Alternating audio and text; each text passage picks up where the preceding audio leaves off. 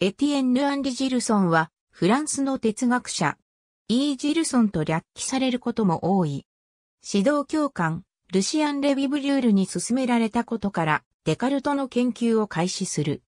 そして、1912年に、デカルトの定立した概念がいかに中世に、定立された概念に依拠しているかを文献を詳細に、比較して分析したスコラ哲学イコールデカルト哲学作品を発表する。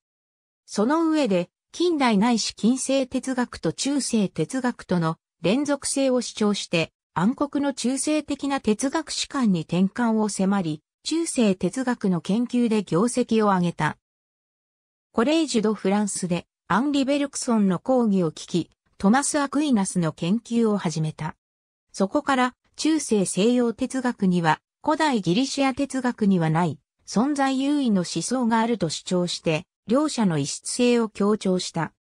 エミール・ブレイエラは物理学や数学にキリスト教的物理学やキリスト教的数学が存在し得ないのと同じようにキリスト教的哲学は過去には存在しなかったし本質的に存在し得ないと主張した。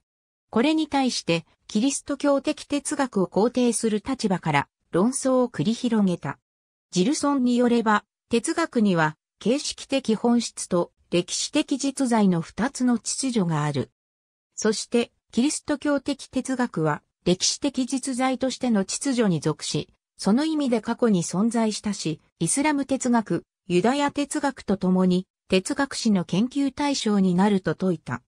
理性の思想史、哲学的経験の一体性381ページ、アメリカ・フランシスコ会で活動した中世、思想研究者。ありがとうございます。